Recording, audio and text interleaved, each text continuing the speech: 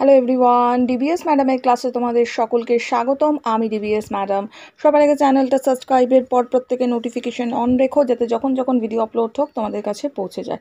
আলোচনার বিষয় আজকে ক্লাস সেভেন বেঙ্গলি মাকু মাকুর থেকে পর্ব নাম্বার নাইন ন নম্বর পর্ব নিয়ে আমরা আলোচনা করবে, করছি। একটু আগে আমরা ন, আট নম্বর পর্বটা কমপ্লিট করেছি। এখন ন নম্বরটা দিলাম। তাহলে পার্ট বাই পার্ট কিন্তু থার্ড ইউনিট টেস্টের আমাদের সিলেবাসটা কমপ্লিট হয়ে যাচ্ছে। এর আগে তোমাদের হিস্ট্রির যা যা আছে কিন্তু করিয়ে দিয়েছি, আমি বাংলার করিয়ে দিয়েছি জিওগ্রাফি কিছু বাকি আছে, সেটাও আমি প্রশ্ন উত্তর দিয়ে দেবো তোমাদের। এখন আমরা একটু মাকুটা নিয়ে আলোচনা করি। যাই হোক, কথা না বাড়িয়ে শুরু করব। ভিডিওটা বেশির থেকে বেশি লাইক শেয়ার করো। যাতে তোমাদের ক্লাসের ভিডিওটা বেশি পাও, বেশির থেকে বেশি লাইক শেয়ার করো। দেখো, সবার প্রথমে প্রশ্ন কি দিয়েছে? সোনা ও টিয়া মাকুর ওপর রেগে গিয়েছিল কেন? উত্তর আমরা লিখব, সোনা ও টিয়া খেলা দেখানোর জন্য মাকুকে অনেক অনুরোধ করেছিল। তবুও মাকু জানিয়ে দেয় যে সে খেলা দেখাবে না, সাইকেল চালিয়ে চালাবে না, লুচি বেলবে না পেরেক ঠুকবে না, দড়ি জ্বর ছাড়াবে না, হারানো জিনিস খুঁজে দেবে না, অর্থাৎ কোনো প্রকার কাজই মাকুয়ার করবে না। হোটেলওয়ালা সঙ্গে লটারির টিকিটের আধখানা হারিয়ে ফেলেছে। মাকু তাও খুঁজে দেবে না বলে জানিয়ে দেয়। শেষে আবার সোনার টিয়াকে ছেড়ে মাকু পালিয়েও যায়। এই সব কারণেই সোনার টিয়া মাকুর ওপর রেগে গিয়েছিল। নেক্সট।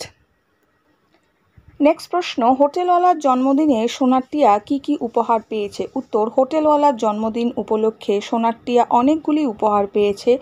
সং তাদের জামা দিয়েছিল, আর একটি ছিল গোলাপি সরি তার একটি ছিল গোলাপি, আর একটি ছিল বেগুনি রঙের। জামার সঙ্গে আবার দুটি সাদা রঙের রেশমের চুল বানানোর ফিতেও ছিল।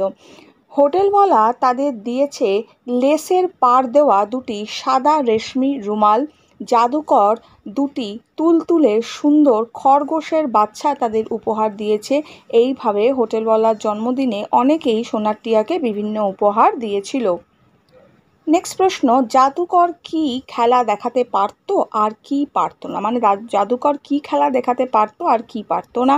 কীভাবে সে পরিদের রানীকে নামায়? উত্তর, জাদুকর পরিদের রানী দিয়ে নানান খেলা দেখাতে পারত। জাদুকর নিজের কাছে যত পয়সা আছে তার থেকে বেশি পয়সা জাদুর মাধ্যমে আনতে পারত। জাদুর সাহায্যে সে চাবির কল খুলতে পারত।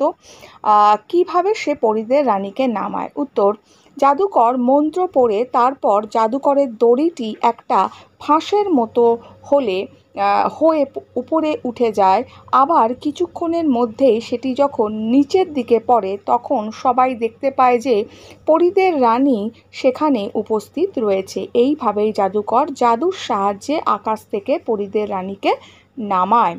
নেক্সট নেক্সট প্রশ্ন, সোনার টিয়া হঠাৎ হেসে লুটোপুটি খেলো কেন? উত্তর, জাদুকর সোনা ও টিয়াকে বলে যে, মালিকের জন্মদিনের উপহার এনেছে তাদের জন্য। মানে বলে যে, সে মালিকের জন্মদিনে উপহার এনেছে তাদের জন্য। এ কথা বলেই জাদুকর শূন্য থেকে খপ খপ করে গোলগাল দুটি সাদা খরগোশের বাচ্চা ধরে দেয়। লাল টুকটুকে তাদের চোখ গলায় লাল ফিতেতে ছোট্ট দুটি ঘণ্টি বাঁধা নড়লে সেগুলি টুংটাং করে শব্দ করে। খরগোশ দুটি সোনার টিয়ার কোলে বসেই গাছঘরের মেঝেতে ছড়ানো নরম ঘাস খেতে শুরু করে। এই কাণ্ড দেখে সোনার টিয়াও হেসে লুটোপুটি খেয়েছিল। নেক্সট প্রশ্ন নেক্সট প্রশ্ন, ঘড়িওয়ালা মাকুকে কি অবস্থায় পেয়েছে সে মাকুকে নিয়ে ব্যস্ত হয়ে উঠেছে কেন? উত্তর, ঘড়িওয়ালা বাঁশবনে খরগোশ ধরার ফাঁদে মাকুকে খুঁজে পেয়েছে। ফাঁদে পড়ে মাকু এত চিৎকার চেঁচামেচি করেছে, এত পা, হাত পা ছুঁড়েছে যে তার পনেরো দিনের চাবি একদিনেই শেষ হয়ে গেছে। এর ফলে মাকু ফাঁদের গর্তে নেতিয়ে পড়েছে। নেক্সট সঙ্গে প্রশ্ন ছিল, সে মাকুকে নিয়ে ব্যস্ত হয়ে উঠেছে কেন? উত্তর লিখব, মাকুকে কুকুরদের ঘরে এনে রেখেছে ঘড়িওয়ালা, কিন্তু সে চাবি সঙ্গে করে আনেনি। মাকুকে তাই চাবিও দেওয়া যায়নি। মাকু মরার মতো পড়ে আছে, তাই মাকুকে জীবন্ত করে তুলতে গিয়েই ঘড়িওয়ালা বেশ ব্যস্ত হয়ে পড়েছে। ঘড়িওয়ালা আনন্দে লাফিয়ে উঠেছিল, কেন? তারপর সে কি করল? উত্তর, ঘড়িওয়ালা মাকুর চাবির সঙ্গে রাখেনি বলে মাকুকে জীবন্ত করে তুলতে পারিনি। যদি একটি কান খুশনিও সরি কান খুশকিও থাকতো, তাহলে তা দিয়েই সে চাবির কল ঘোরানোর চেষ্টা করত।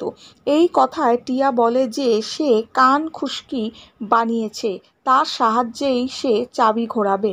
টিয়ার এই কথাতেই ঘড়িওয়ালার মনে আশার সৃষ্টি হয় এবং সে আনন্দে লাফিয়ে ওঠে।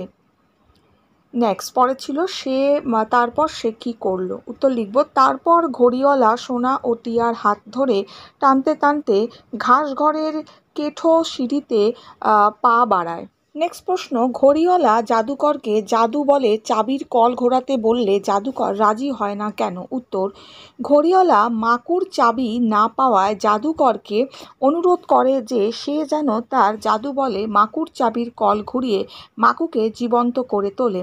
যদিও জাদুকর তাতে রাজি হয় না। জাদুকর বলে, জাদু দিয়ে কেউ কখনো চাবির কল ঘোরাতে পারেনি। জাদুকর যদি জাদু বলে সব কিছু করতে পারত, তাহলে তাকে আর বটতলায় আতপেটা খেয়ে ফ্যাঁ ফ্যাঁ করে ঘুরে বেড়াতে হতো না। অর্থাৎ জাদুর মাধ্যমে মাকুকে জীবন্ত করা সম্ভব নয় বলেই জাদুকর ঘড়িওয়ালার কথায় রাজি হয়নি। নেক্সট প্রশ্ন, সব নেক্সট প্রশ্ন, সবাই ঘাস জমির দিকে ছুটল। খাবার দাবার কি হলো? উত্তর লিখব, রাতে হোটেলওয়ালার জন্মদিন উপলক্ষে খেলা দেখানো হবে, তার জন্য ভালো মতো প্রস্তুতি নেওয়া হবে সরি নিতে হবে সকলকে। সাজগোজ করতে হবে। মেম সাহেব সোনারটিয়াদের সাজিয়ে তুলবে। মাকুকে জীবন্ত করে তুলতে হবে। এই কারণেই সকলে ব্যস্ত সরি ব্যস্ততার সঙ্গে ঘাস জমির দিকে ছুটে গেল। সরি ঘাসদিমির দিকে ছোটে। এখানটা এইটা আমরা গোমেস লেখার দরকার নেই মেম সাহেব শুধু লিখলেই হবে। ঠিক আছে? নেক্সট নেক্সট আমাকে সঙ্গে প্রশ্ন দিয়েছিল যে খাবার দাবারের কি হলো? উত্তর লিখব, তারা সবাই চলে গেলে কড়াই ভরা ঘন দুধের পায়েস, কাঁচা হরিণের মাংস, বাসমতি চাল কিশমিশ বাদাম, মশলা, স্বর্গের সুরুয়া বটতলাতেই ঢাকা চাপা পড়ে থাকে। রাধা বাড়ার কথা কারোরই মনে থাকে না। নেক্সট প্রশ্ন, মাকুর প্রতি ঘড়িওয়ালার ভালোবাসার কথা লেখো। এটা পাঁচ নম্বরের প্রশ্ন, উত্তর লিখব। মাকুর প্রতি, মাকু হলো ঘড়িওয়ালার প্রাণ।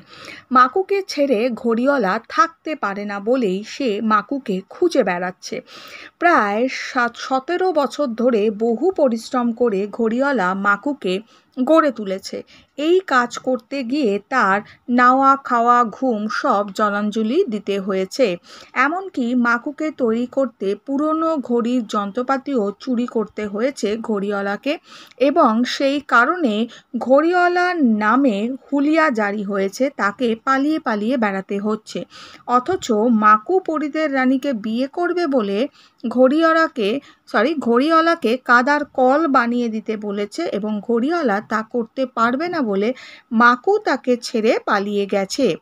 সেই থেকেই মাকুকে খুঁজে বেড়াচ্ছে ঘড়িওয়ালা।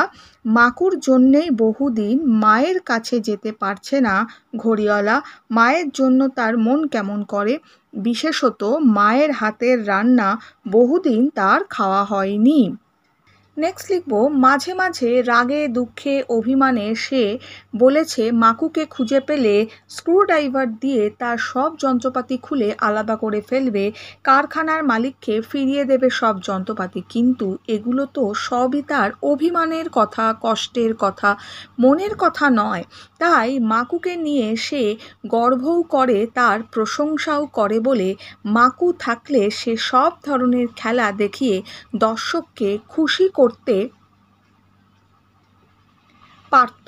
সার্কাস দলের কোনো সমস্যাই আর থাকতো না। তাই তো সে মাকুর জন্য দুঃখ করে, কাঁদে, আবার গর্বও করে। শেষে যখন মাকুকে নিস্তেজ অবস্থায় খরগোশ ধরার ফাঁদের মধ্যে খুঁজে পায়, তখন কীভাবে সে মাকুকে জীবন্ত করে তুলতে পারবে তার জন্য ব্যাকুল হয়ে পড়েছে। আর মাকুর জন্য প্রাণ ফি সরি আর মাকু যখন প্রাণ ফিরে পায় তখন তার আনন্দ ধরে না। এইভাবে মাকুর প্রতি ঘড়িওয়ালার ভালোবাসার পরিচয় ফুটে উঠেছে আলোচ্য কাহিনীতে। ক্লিয়ার? এইভাবে আমরা আনসারটাকে করব। তাহলে আমি এই চ্যাপ্টারে প্রশ্নগুলো কিন্তু দিয়ে দিলাম। অর্থাৎ পর্ব নাইনে সকল প্রশ্ন উত্তর হয়ে গেল, এগুলো ভালো করে পড়ো। নেক্সট আমি গল্পটা নিয়ে আরেকটু পর্ব সেভেন পর্যন্ত আমি আলোচনা করে দিয়েছি এইট থেকে আলোচনা করব। এখনের জন্য এটুকু। বন্ধুদের সঙ্গে ভিডিওটা শেয়ার করো লাইক করো। খুব ভালো থাকো। টাটা।